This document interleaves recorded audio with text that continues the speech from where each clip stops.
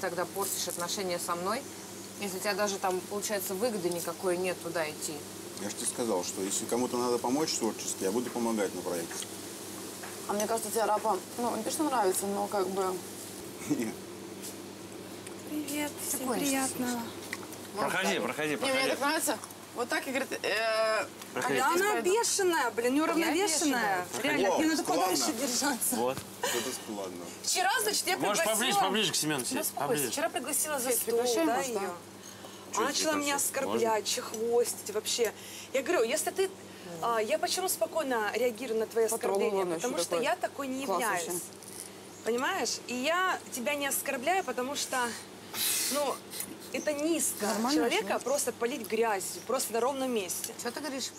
Тебе говорю, я попросила помощи, чтобы он мне помог поиграть на аккордеоне. И все. Я что, как-то флиртую, я что, как-то хожу вот так вот да. перед э, вашими мужчинами или что? Нет, Ты с Семеном Кристина, флиртуешь. Я не флиртую с ним. Если бы я флиртовала, и он мне нужен бы, я бы сказала, да, он мне симпатичен, я буду там... так он тебе не нужен, ты просто с ним флиртуешь.